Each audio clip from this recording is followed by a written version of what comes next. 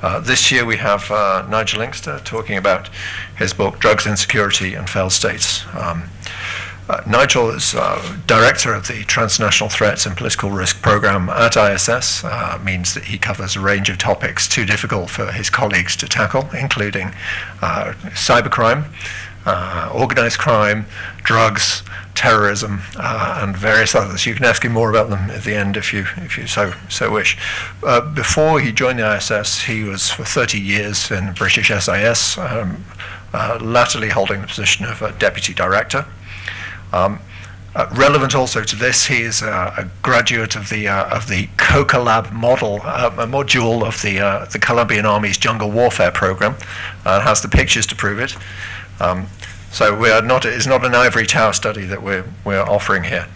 Um, the drug trade is one of those truly transnational issues and one that really belongs within within Nigel's program. Um, not only something that crops up around the world uh, in various guises, but actually also links regions, often poor countries and rich countries, uh, different ends of the produ production chain.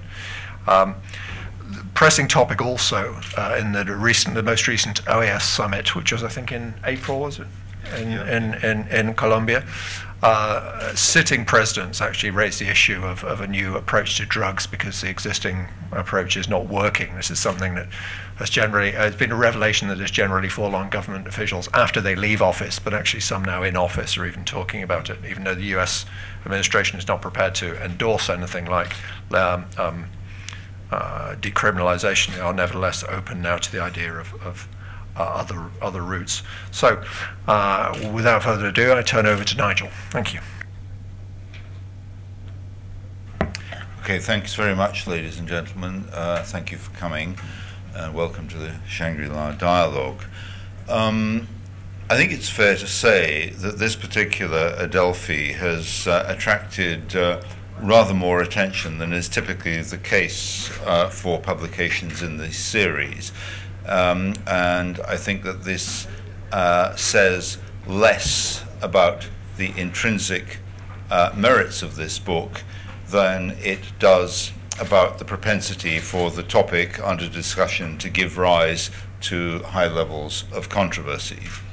I, I can think of few subjects in the security agenda that uh, generate uh, stronger feelings than the issue of drugs and uh, it is an, it is a debate uh, around which um, the facts are often in very short supply.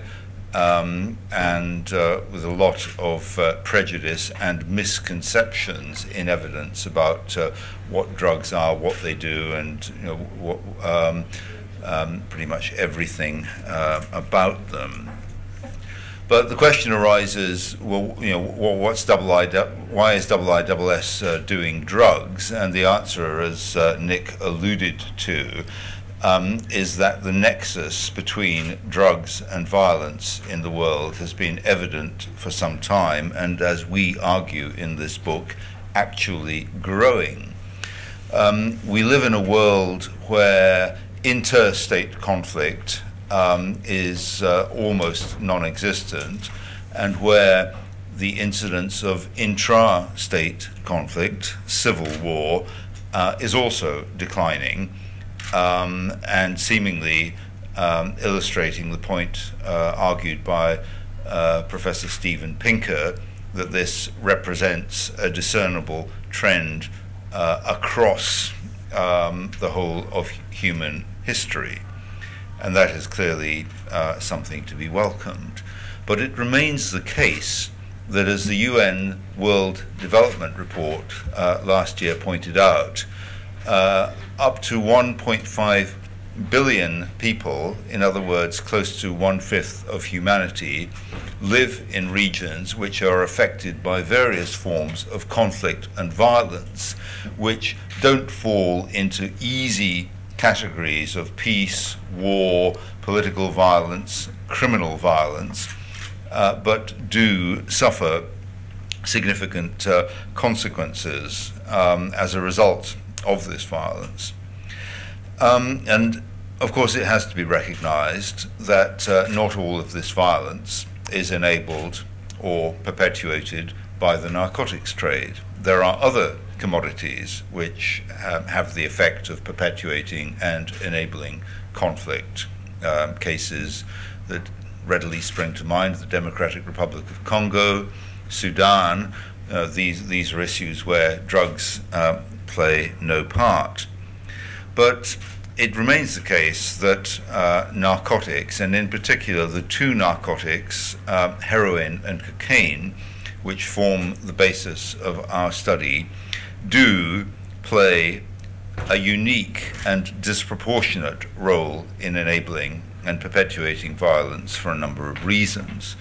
Um, firstly, uh, the ease with which they can be grown, uh, particularly in uh, areas of the world which are either ungoverned or, or weakly governed, um, and which command very high markups between the farm gate and retail distribution, largely as a function of the prohibition regime, which puts all the risk um, on um, those prepared to traffic these commodities um, and, and requires you know, the price you know, to, to go up uh, commensurately. And the other point is that uh, these are commodities um, characterized by what one scholar has referred to as low obstructability. In other words, there, are almost, there is also no, almost no limit to the number of routes whereby these commodities can be smuggled or the concealment mechanisms that can be used um, in, in trafficking these drugs. It's also important to recognize that um, there are few cases where drugs in and of themselves have actually given rise to significant violence. If you look at the cases that we detail um, in our book, uh, namely Colombia and Afghanistan as producer countries, Mexico, Central America, and West Africa as transit countries, um, almost all of these had um, long experience of violence predating their involvement in the drugs trade. Um, in the case of Colombia, this this is, you know, uh, was always you know, uh, a, a, country prone to high levels of violence, and intermittently so too was Afghanistan.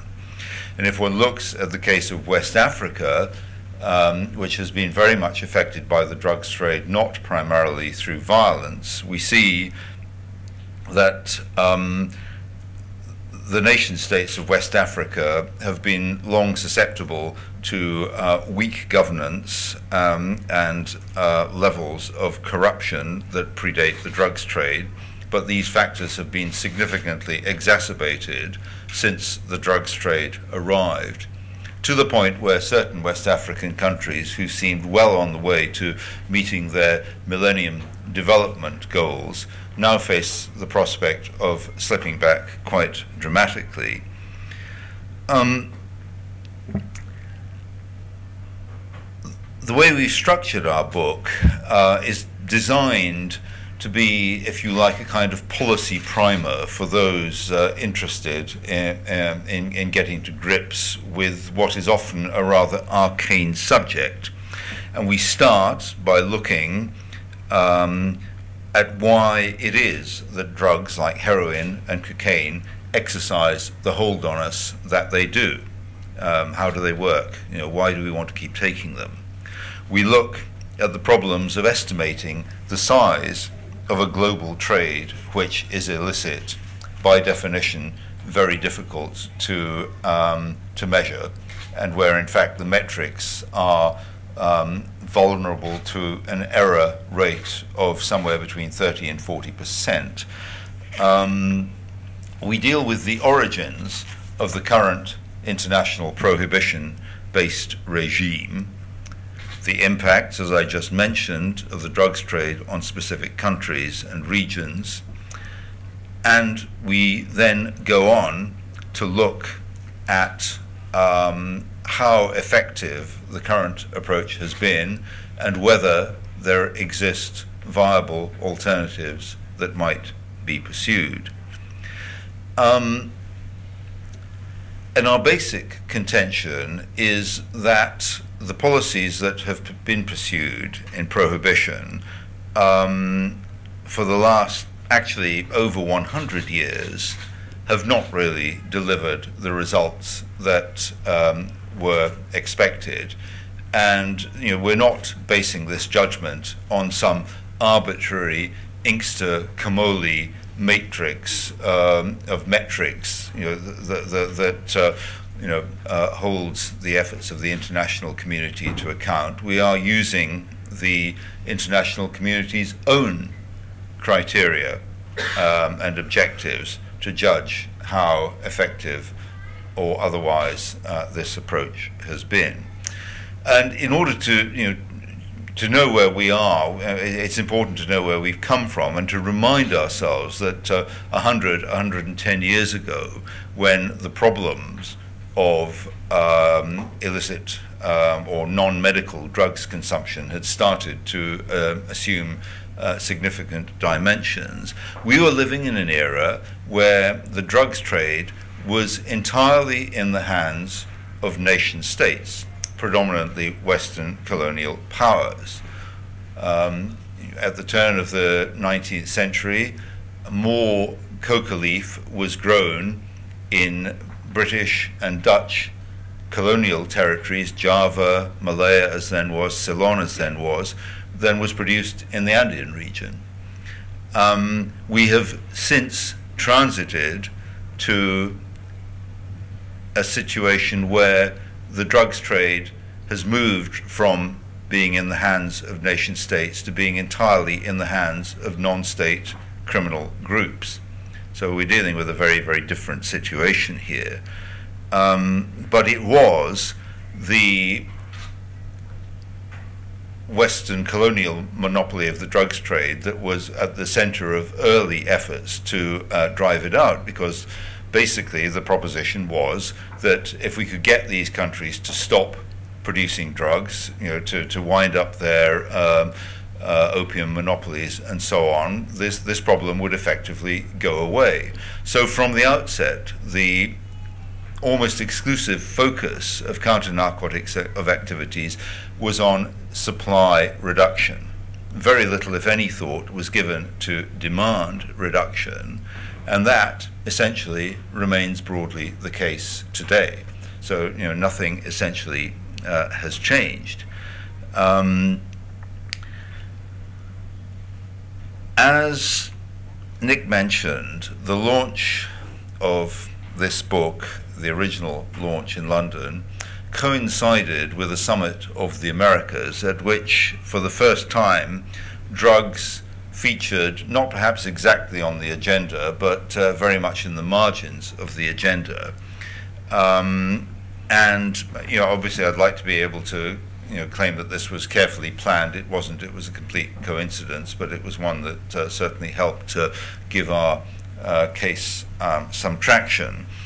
Um, and I think it, it's no coincidence that during the period that we were uh, researching this book, um, we saw an increase in the incidence of not just retired politicians and officials, but increasingly serving politicians starting to comment uh, to the effect that uh, our current policies might not be working very well and that there was a need for uh, a rethink.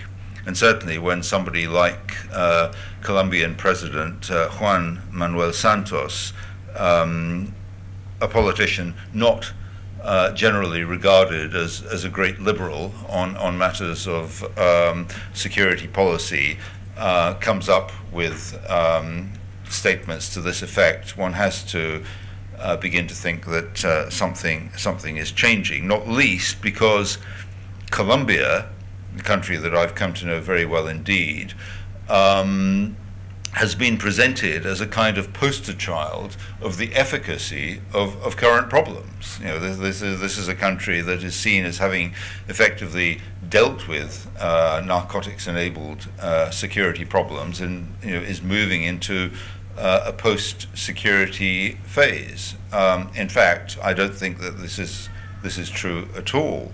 Um, yes, it is true that Colombia has managed to uh, reduce the threat from um, narcotics criminals from something that was potentially existential to something which can be dealt with as uh, a law and order issue. And it's true that it has also uh, pushed a narcotics fueled insurgent movement to the margins of the state, where it, again it can be dealt with as uh, something that doesn't constitute an existential problem, but at a very considerable cost. Um, large numbers of deaths and injuries, um, as many as 4 million internally displaced persons, you know, a bill for um, post-conflict reconstruction and reparation and uh, um, reintegration uh, going into billions of dollars. And still, it remains the case that Colombia is affected by high levels of criminality um, and the quantities of cocaine that emanate from Colombia have diminished somewhat, but not that markedly, and any shortfall from Colombia has more than been compensated by increases in production elsewhere in the Andean region. So all this has been done, but the actual amount of drugs you know, going onto world markets has not uh, significantly um, reduced. And this, you know, we, we are asked to think is, is a success story. Uh, when we turn to heroin, we look at the problems of Afghanistan, uh, where effectively, um, narcotics have uh, both fueled uh, a long running insurgency, uh, but also, uh, because of the involvement of significant elements of the Karzai administration in the drugs trade, have actually created and perpetuated the circumstances which drive that insurgency. It's proven impossible for NATO ISAF to, to devise effective policies which combine counterinsurgency and counter narcotics. And our conclusion is that the two are simply um, at contradiction with each other. Um, and the likelihood is that um, the situation in Afghanistan following the NATO ISAF drawdown is almost guaranteed to get much worse in terms of um, opium poppy cultivation as all actors in the Afghan scenario stockpile resources for an uncertain future. So we don't see any um, you know, alleviation in sight there. Um, and I think at this point we have to perhaps stop and, and take stock. Uh, Donald Regan, who was uh, Ronald Reagan, uh, um, I forget his exact position in the White House, uh, was reflecting on his experience as a very young official during the uh, Cuban Missile Crisis. And when asked what lessons he drew from that crisis, uh, famously said, Don't just do something, sit there. Um, and we think that uh, you know, latterly we've been doing quite a lot of uh, not actually that effective activity, and maybe the time has come to sit down and do a bit more thinking about what would constitute um, some some more effective policies. And we try in our book not simply to admire the problem, as they say in US academia, but to offer some thoughts about possible alternatives and, and, and different approaches. Um, and you know, what, what, what, what are the uh, points that you know, we, we really want to try and, and make, and the points that I want to leave you with? Firstly, we think that the issue of drugs misuse needs to be fundamentally reframed. When one has an intractable problem, um, reframing it can in itself be a useful exercise in helping you to determine which aspects of the problem really are important, really matter, and which might actually be capable of, of being dealt with. Uh, but we, we need to reframe this problem not as a problem that can be solved, this idea of a drugs free world, but as a situation, a phenomenon to be managed, and managed in a way which creates minimal collateral damage, which we don't think now is currently the case. At the moment, it is you know, the, the you know, weak and vulnerable states which are effectively carrying the can for demand which is almost exclusively emanating from, from the developed uh, Western economies. And we think you know, there is a fundamental inequity here that needs to be addressed. Um, every year, the international community reports back to itself, announcing, in effect, that it's failed to meet its objectives and that it's going to carry on doing exactly the things that uh, have uh, resulted in this failure. And you know, we think that this is, you know, the, the, the, this in itself is cause for a rethink.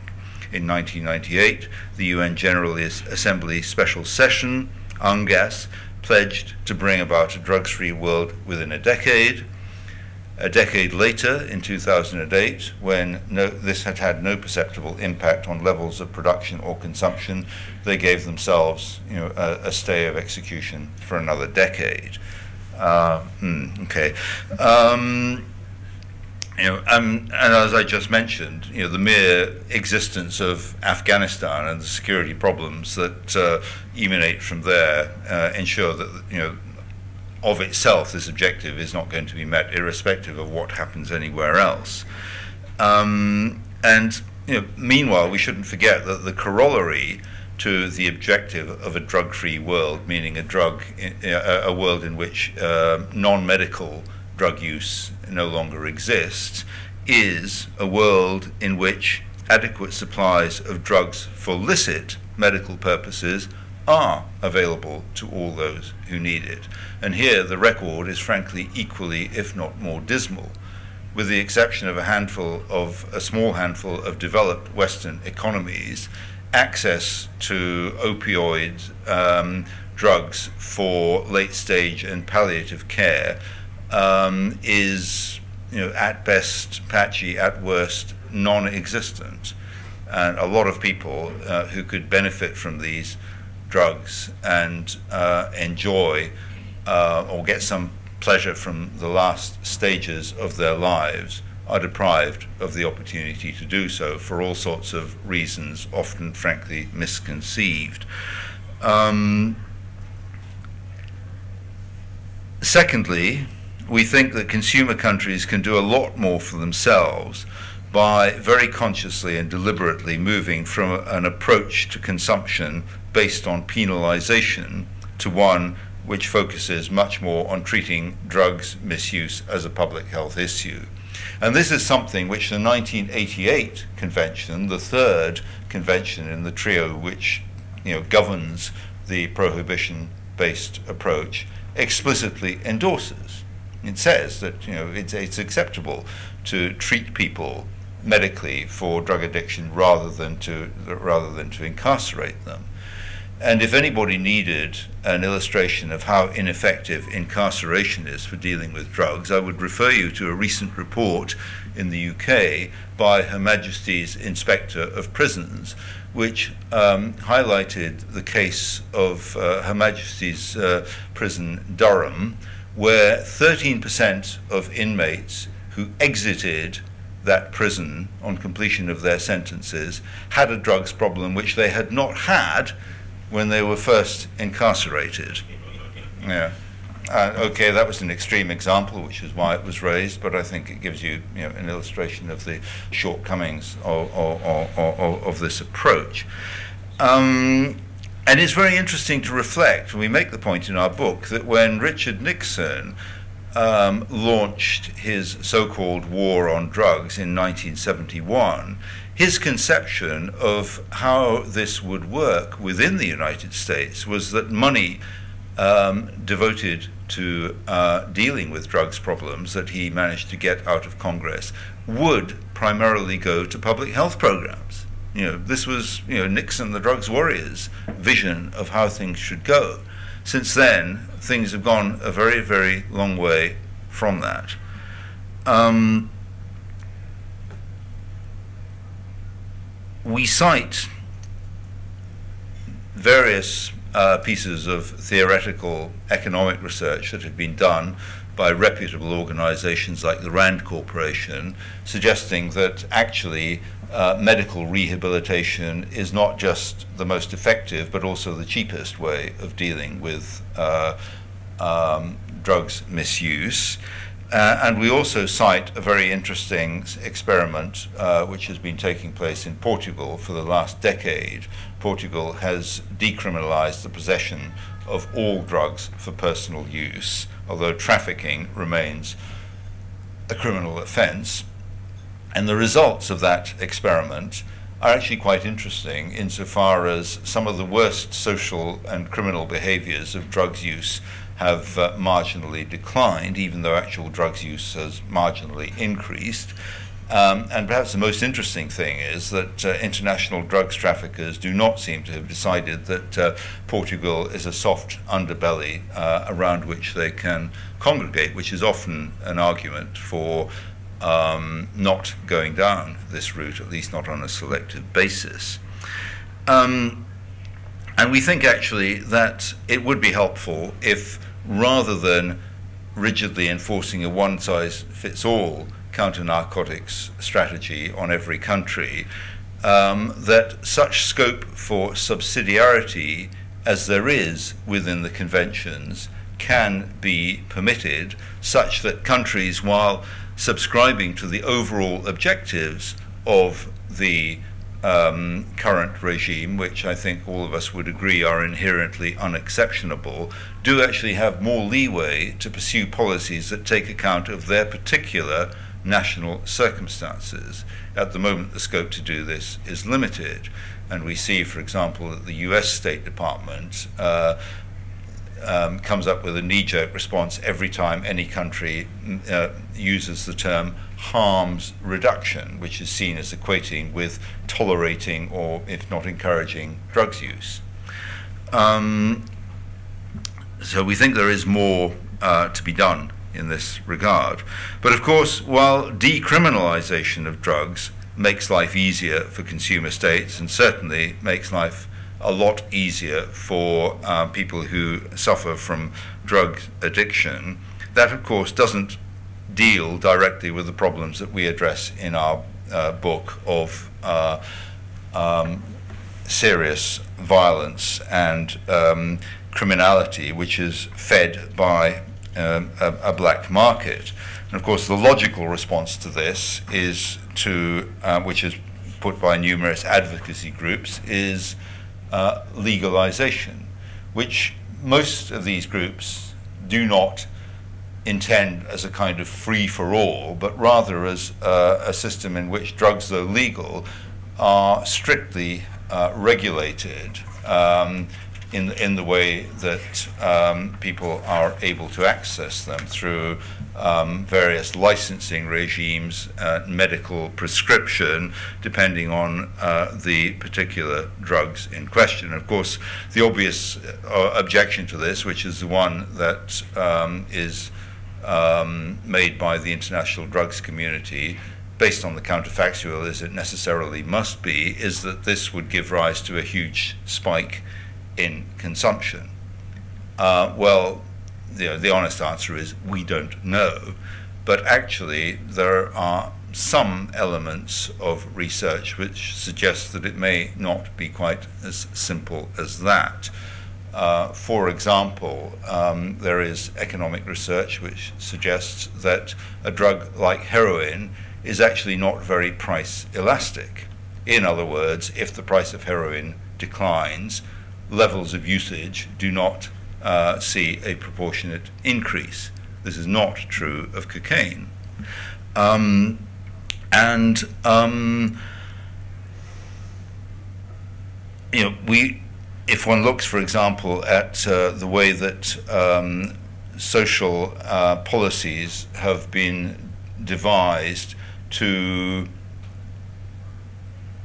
outlaw effectively uh, the consumption of tobacco in, in public places and to make this a, a, a much less socially acceptable habit than uh, it, it uh, previously was. This too perhaps offers uh, some scope um,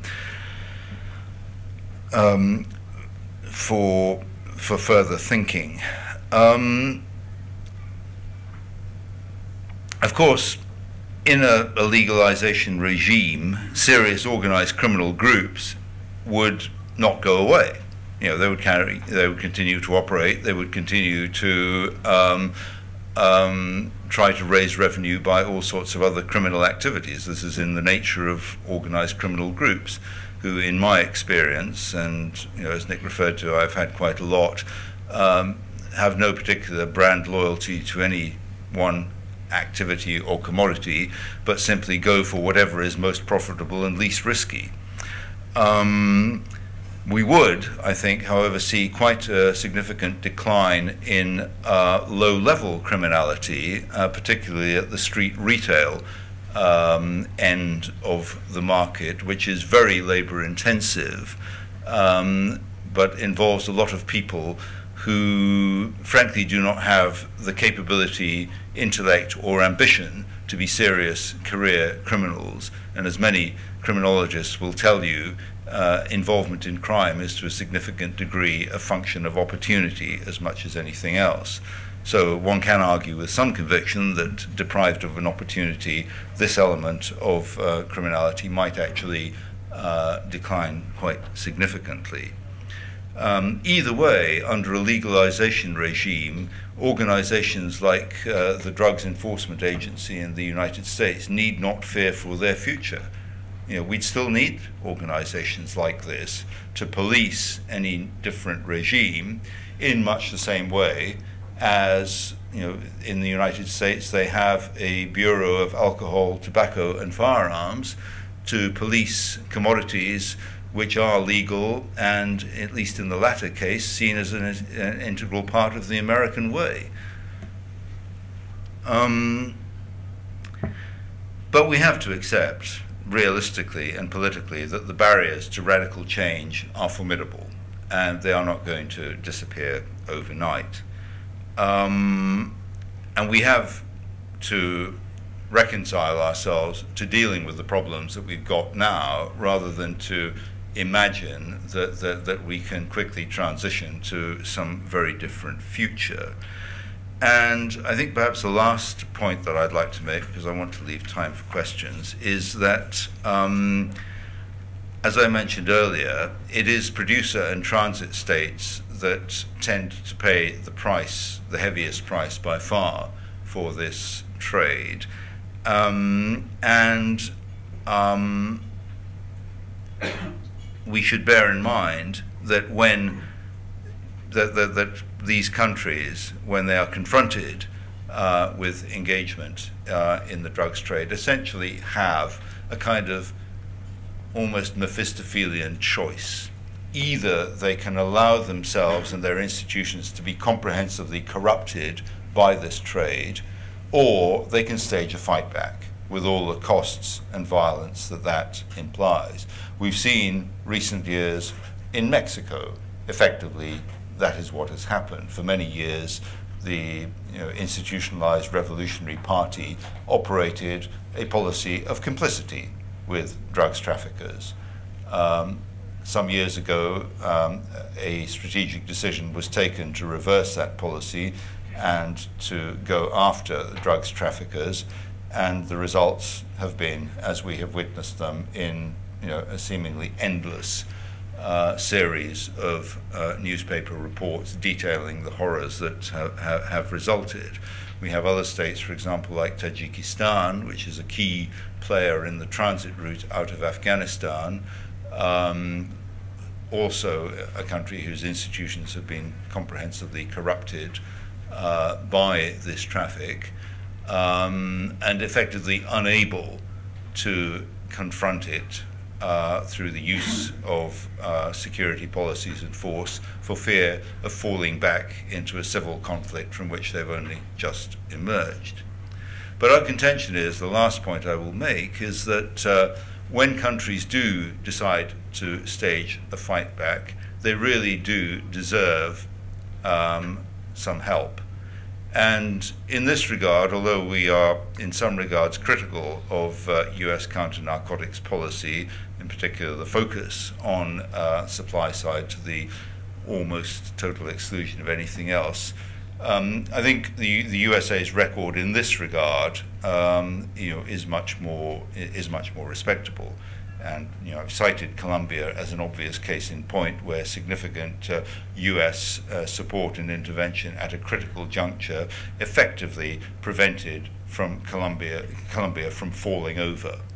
The only other country, Western uh, consumer country, that uh, provided any useful help to, to the Colombians, at least in the hard security element of this fight back, was the United Kingdom a lot of other countries refused to get involved in providing hard security assistance to Colombia because of concerns about uh, human rights violations that were undoubtedly taking place and were indeed a legitimate cause for concern.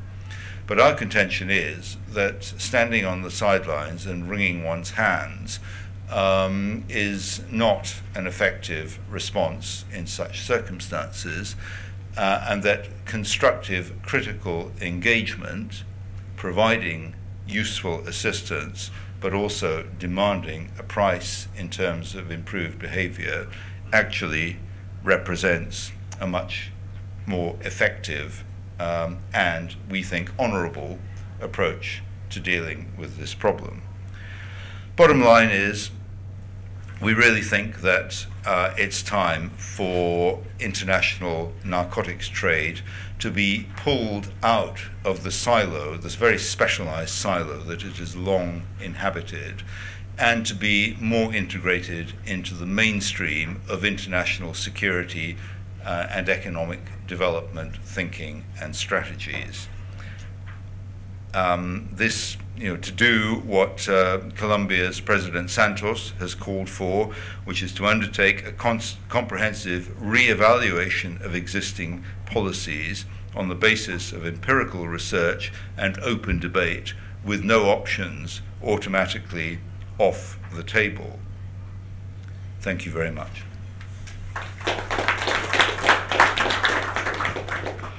Uh, Nigel, thank you. Uh, we'll have a date for our diaries to note whether the next 10 year deadline to, in effect, change human nature is any more successful than the previous one. Um, several uh, chapters within the book are actually focusing on some of the security uh, fallout of the drugs trade for producer states and transit states. So if you want to ask questions on those, uh, Nigel can take those as well as, as, as questions on, on the argument that, that comes across. I mean, from my own perspective, with the PRI candidate perhaps just a month away from being re-elected in Mexico. It'll be very interesting to see if the old party can actually get that particular genie back in the bottle. Uh, opening the floor to questions. Uh, please, sir. Good afternoon, sir. I'm Eric San Juan. Just, if you just you wait, wait for the microphone. Good afternoon, sir. I'm Eric San Juan of Opinion in News Asia. I'm from the Philippines. Uh, you appropriately uh, tackled about the issue of heroin and cocaine but uh, we have a bigger problem here in Asia, which is the so-called synthetic drug, meaning the poor man's drug, which is the shabu. And uh, this shabu is being uh, smuggled worldwide now. And uh, do, you have any, do you have any update regarding this matter or any information about this? Because uh, this is the, the bigger problem of the world this time. Well, I think it is undoubtedly the case that uh, you know this is a problem, but this, this is a different type of drug because it is a drug that can be produced. Uh, it's, it's a drug that is produced synthetically and hence can actually be produced much closer to the sources of consumption than is typically the case with cocaine and heroin. Um, you know, there's no, re- you know, if you, if you want to sell this stuff, you're talking about methamphetamines and related uh, um, synthetic drugs. There's no reason why you can't manufacture these in you know, factories and laboratories, you know, in the cities, you know, um, where, where, you're, where you're proposing to, to sell them. Now, I accept that this has been a problem in uh, Southeast Asia, particularly in Thailand, for example, where we saw um, under Thaksin Shinawatra uh, a, a, policy of cracking down on uh, drugs trafficking, which uh, resulted in very significant uh, levels of extrajudicial killings, which may or may not have been uh, you know, drugs related. You know, it's certainly the case in, in the Philippines that uh, um, th this is a commodity that uh, uh, fuels criminality and, and uh, enables violence. But I don't think it's happening on quite the same scale as um, you know, heroin and um, uh, cocaine. And it, you know, I mean, I, I, don't underestimate the you know the harms and addictive properties uh, of, of of methamphetamines. You know, the, the, these these are you know, clearly, you know, serious problems. And, you know, things like, you know, methamphetamines can make you think that you're Superman and you, you, you then try and leap buildings with a single bound and find that it doesn't actually quite work, so that they are extremely dangerous. Um, know, but again, know, we're up against the, the, the, the, problem. Where, where, where does the intrinsic value of these things come from? You know, it costs next to nothing to produce this stuff you know, the value comes from the fact that they are prohibited commodities. That is why you know, people you know, uh, take the risk of trafficking in these commodities because the rewards are significantly great. Um, so a question arises, you know, might it be easier to um, break this um, malign nexus by rethinking uh, the prohibition uh, element of this we're not saying that that is the answer because I don't think there is an answer, but uh, you know it is it is for reflection, for consideration. Thank you. Yes, I'm Gloria from the International Drug Policy Consortium. I haven't read the book, so I'm not familiar with the, the research that has been into it. I was curious as to the extent to which you might have gone into the actors behind the drug trade and I was interested to see how whether you can draw a clear line between those who are involved in the drug trade and those who are in the state apparatus that govern and drive and determine drug policies. So when we talk about what might be possible and how can we change or even consider um, opening up a debate on drug policies, um, what kind of obstacles are there in government perhaps or in the power structures that exist that might stop that from happening? Well, of course, you know the, the, there there are lots of different interest groups, um, you know, who who um, would uh, be resistant to change. Um, you know, the governments of uh, major consumer countries like the United States, you know, arguably find it easier to deal with a drugs prohibition uh, regime that actually puts uh, the onus more on uh, consumer, on, on producer countries. Uh, that was certainly the case when the 1961 convention came into being. Um, you know, there, there are other powerful uh, domestic uh, interest groups, like, for example, the correctional lobby in the United States, who, not to mince words, you know, have a, have a powerful financial interest in incarcerating Amer as many Americans as possible. Um, you know, then you know, if we look at uh, you know, fragile states like uh, Afghanistan, we see, for example, that um, within the Karzai administration, you know, there there are powerful former warlords uh, who derive quite significant revenues from the uh, narcotics trade, principally through control of the trafficking routes, but who at the moment are actually deriving more of their income from uh, embezzling uh, a huge American uh, and Western aid budget way beyond the absorptive capacity of a very fragile state.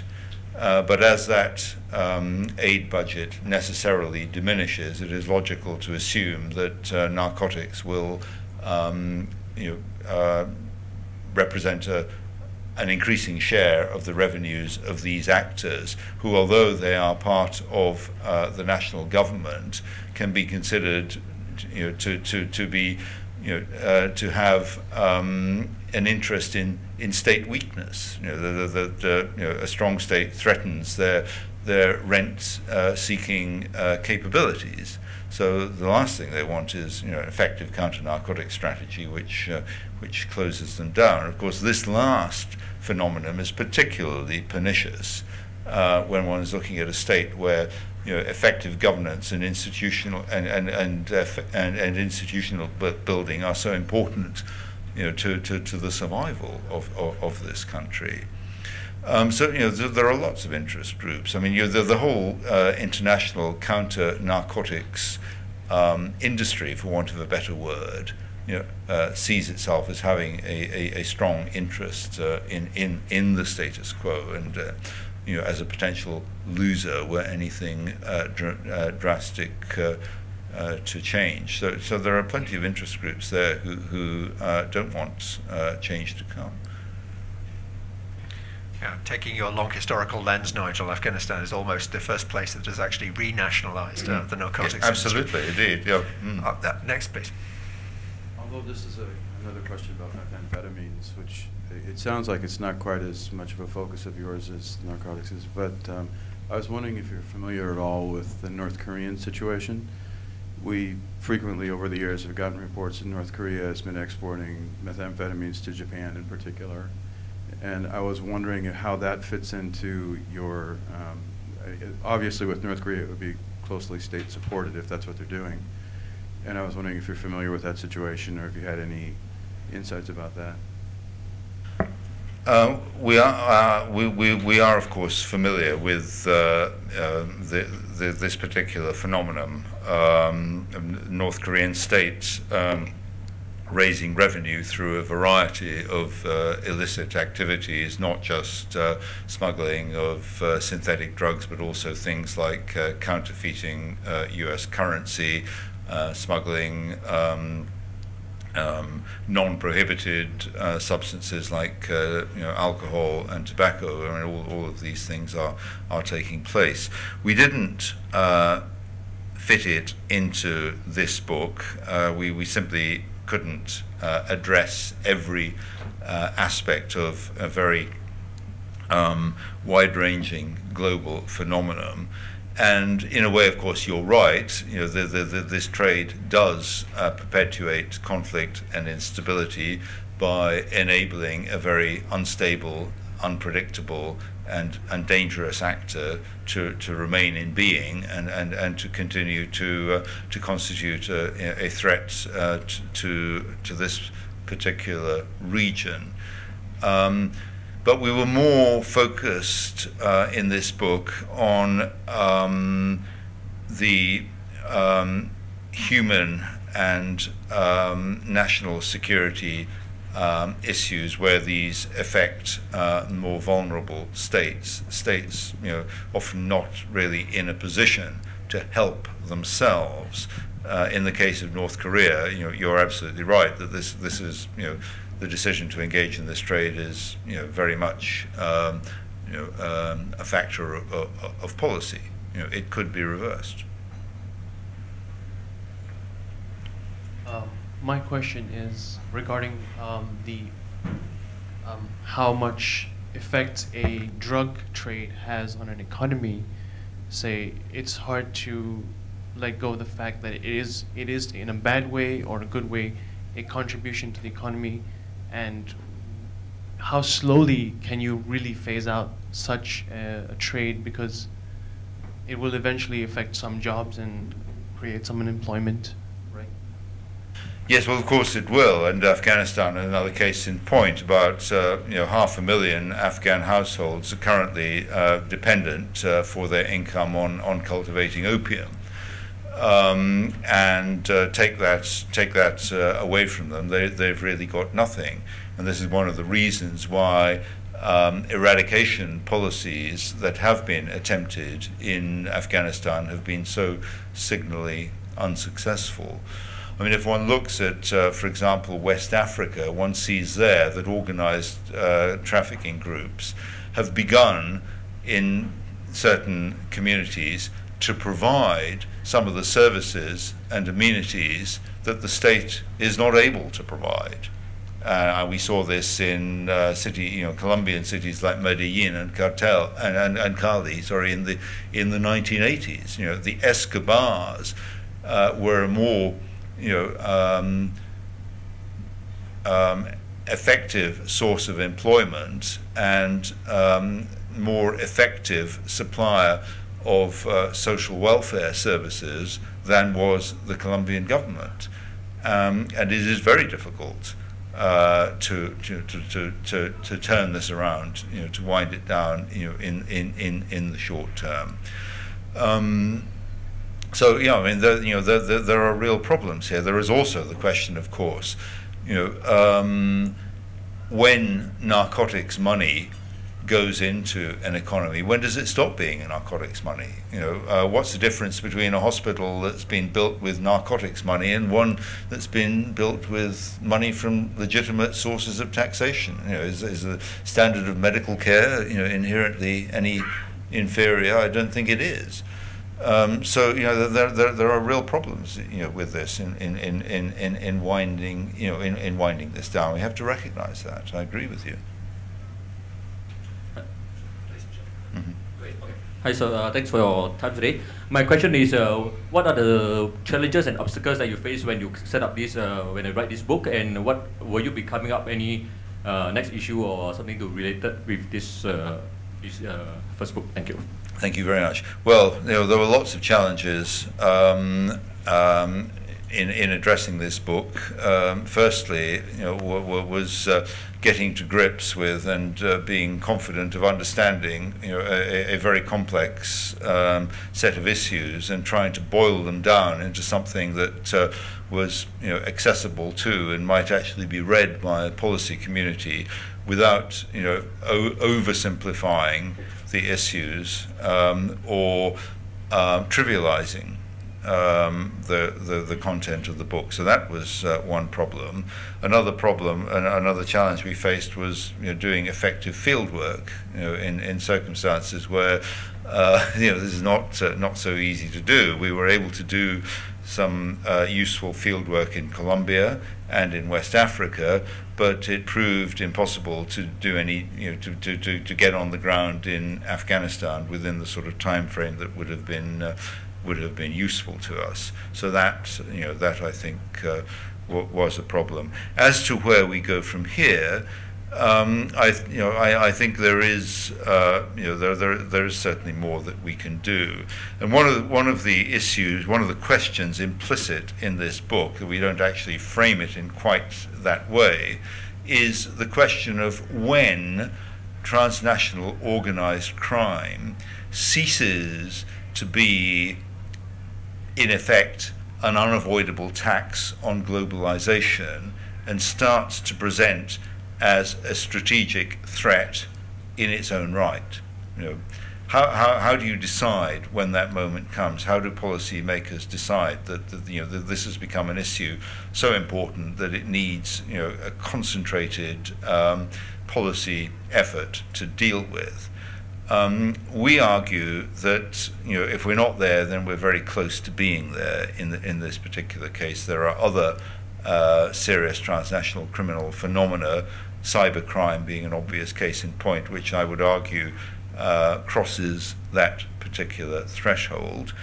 Um, and we would certainly like to look uh, more at this aspect, and also to consider, for example, whether some of the skills and capacities that um, the world has acquired in dealing with uh, modern transnational Islamist terrorism might be usefully transferred to dealing with some of these uh, phenomena, um, failing which there is a risk that some of them may actually be lost.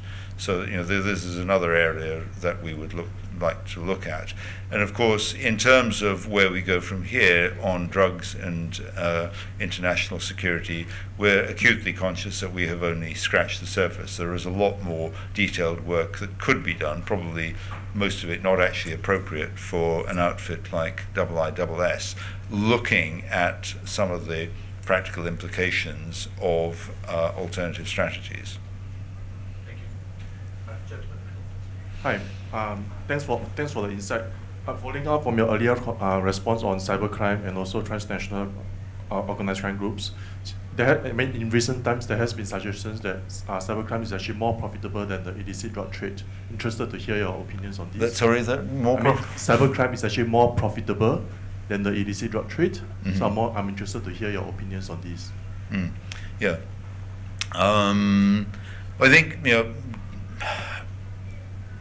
there, there, are many profitable forms of organized criminality. People smuggling is actually extremely profitable.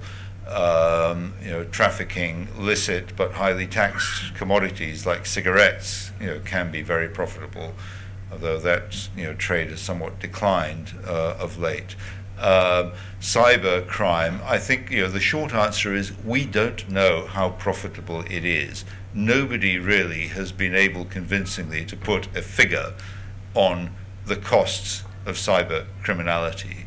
And you know, there, there are you know, figures cited. You know, the British government cites one. You know, uh, various private companies like Symantec, you know, come up with, with estimates. But you know, frankly, the, these are all finger in the air exercises. We really don't know uh, what, what, what the true answer is. I do think, however, that cyber criminality um, is becoming a serious problem insofar as it is evident that a number of private sector companies are now having reservations about exploiting fully the capabilities uh, offered by the cyber domain in respect of their businesses because of the perception that the, the risks and damage from criminality outweigh the benefits of uh, pursuing these innovations. So I think when you know, serious companies uh, start to think in those terms, you have to assume that yeah, this is, this is starting to be you know be a real problem. Uh, Bob James, please. Uh, Bob James, I'm a businessman. Uh, your um, your book is about drugs, and you talk largely about drugs, but of course there are different kinds of drugs. Mm -hmm. And it would, seems to me that uh, you would have to address them in a different way, marijuana being mm. one. I could talk about marijuana. I'm probably the only person in here that's ever actually smoked marijuana. and, but you uh, didn't inhale, right? I, no, I, by, by accident I did, and I coughed and I had to stop. Mm. Uh, so, uh, how, how can you deal? You, uh, our uh, ex-governor in New York, um, mm Rockefeller put everybody in jail. Mm-hmm. And that seems to continue in some ways. It doesn't seem like it's exactly the right way to handle it. I agree with you that uh, different drugs, you know, um, have very different effects, um, and uh, I don't think it's actually been especially helpful that under the international regime you know, a number of different drugs are brigaded together in different classes. In the UK, we use class A, class B, class C. Um, uh, to you know to, to, determine their sort of toxicity and uh, malign uh, effects. And I, I, I, think that you know any uh, regime that approached uh, drugs differently would have to look at you know every single drug on its own uh, merits um, it is argued that, for example, uh, cannabis, marijuana, though not uh, in itself particularly harmful, um, is uh, undesirable because it serves as a so-called gateway drug. Once you started using that, you start using other more uh, potent substances. Well, I have to say we simply did not find any convincing evidence that supported that contention. Know, uh, re really, you know, we, I, I, looked and I couldn't find any.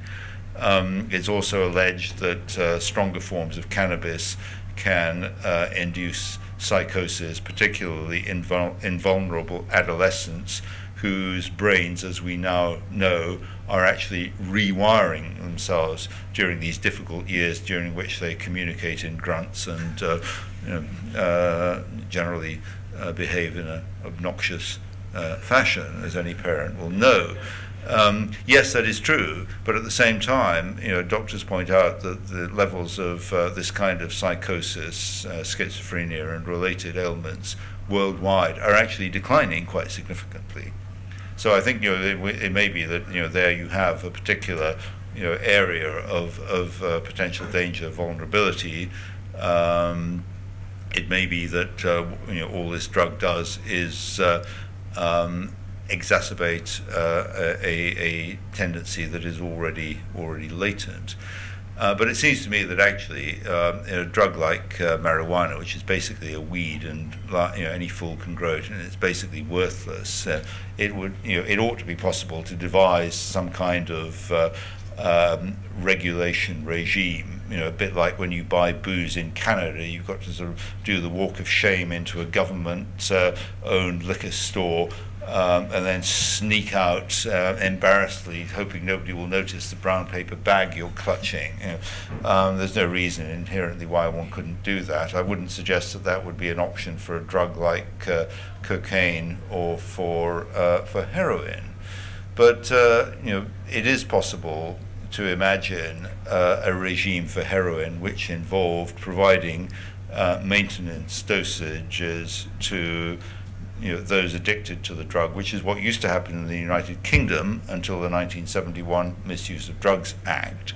And it seems to me that treating um, people, I mean, you know, I mean, let's face it, heroin addicts are people, you know, who we, we call them problem users, but anyone who's addicted to heroin uh, has probably got a lot of problems, and the heroin addiction is probably just one manifestation of, of something far more wide, uh, wide ranging. And it seems to me that in cases like that, um, these, the, the, these decisions about how to treat, how to deal with the problem are best left to qualified medical practitioners rather than law enforcement officers, international civil servants, uh, and, and, and, what have you.